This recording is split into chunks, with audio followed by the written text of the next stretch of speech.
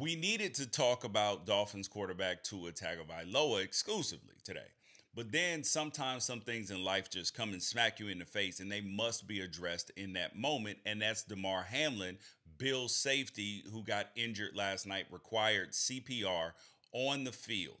I mean, the scariest sight you've ever seen. I've seen multiple players, AK Keys when I was in college at Oregon, and Keith Mitchell when I was in Jacksonville, both get carted off, and us not know what the hell was going on with them physically, and we still had to go play. But all of this reminds me of the thing that I'd learned as I played in the NFL. And this lesson actually rubbed one teammate who had been had a long successful career the wrong way. Where I said that football is a job, it's not a career.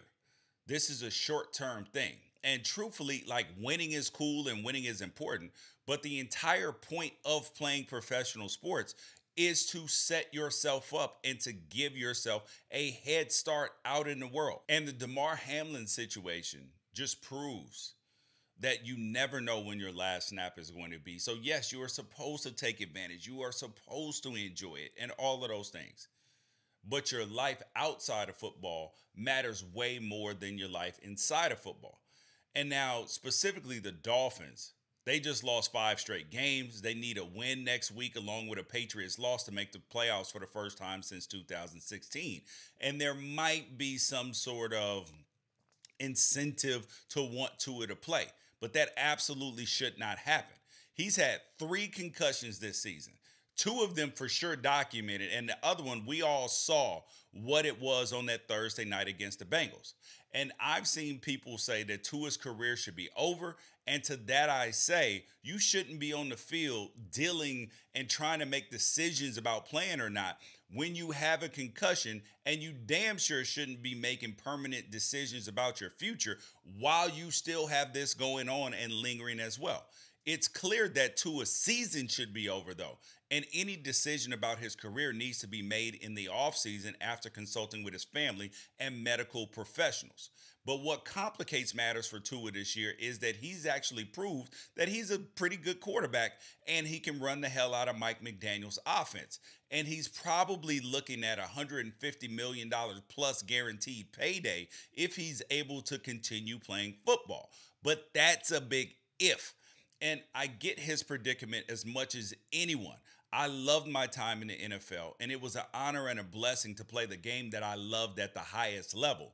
But I found out what everybody outside of the all time greats, and even some of them find out that the game will never love you as much as you loved it. And Football Incorporated will chew you up and spit you out so you can't lose sight of what actually being a professional athlete is about. It is setting yourself up for the decades that go on after that, for changing your family's fortunes, for opportunities, career advancement, giving your kids a better life. And the goal should never be about how far you can take football. It has to be that you are setting yourself up and your family for after football. So that means that you're that it's a sliding scale with your your health, your finances and all of that stuff because you're going to spend at least 3 times as much of your days on earth not playing football as you do unless you're Tom Brady. And when the game's finished with you, your life is not over. You still need to work. Whether you're DeShone Kizer or Peyton Manning, you still need to compete, keep your mind active, and find ways to give back. Because idle hands are the devil's playground, and being a man of means doesn't change that. You can make, I tell my son, you can make all the money in the world. You still got to go to work. I've worked with Alex Rodriguez, with Marcellus Wiley, and other people who've made really, really good money. And guess what they're doing? They're out freaking working. Unless you want to pay another grown man's bills to, to, to just hang out with you. And then you might end up like Antoine Walker or some other guys who have been on the broke 30 for 30. And if anything, money just makes more of a devil's theme park than an actual playground. So if Tua does decide to walk away, there's no shame. He's going to collect at least $30 million off his rookie deal. And that's even if Miami doesn't do right by him and pick up his fifth year option just to make sure that he's okay for his sacrifice of his body to the team. And he's more than giving himself and his family a financial leg up and opportunities. And I speak from experience when I say that medical issues, that if they do force Tua to step away, it actually might take him a long time to realize how fortunate he was to experience the limited success that he had. It took me almost seven years outside of football to be able to watch games.